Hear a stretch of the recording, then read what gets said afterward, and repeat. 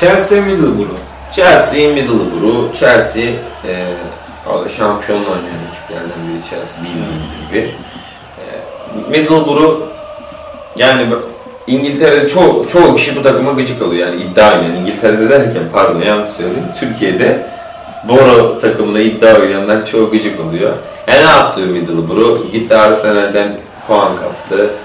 İyi performans. Tuncay atıyor kazanıyor geçen hafta biliyorsun. Tuncay attı kazandı derbi karşısında.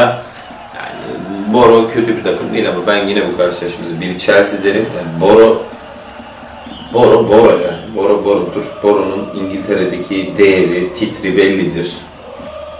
Ben Chelsea çok daha fazla kalitelidir, çok daha fazla isteyecektir karşılaşmayı. Boro bir yine bir sükse arayacaktır, yine bir prestij arayacaktır ama Boro'nun yeri bellidir İngiltere'de yani nereye.